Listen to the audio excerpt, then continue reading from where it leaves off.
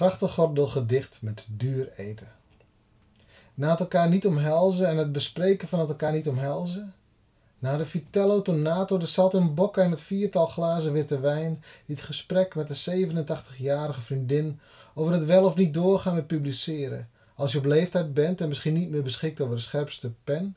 Over laten vloeien het vergelijken van verliefdheden het verschil in temperament, na de extra limoncello die na de limoncello van het huis nog besteld moest worden, aan het einde van het gesprek, dat je in eerste instantie wilde afblazen vanwege je droge keel, kijk je de vriendin aan die betaald heeft voor je eten.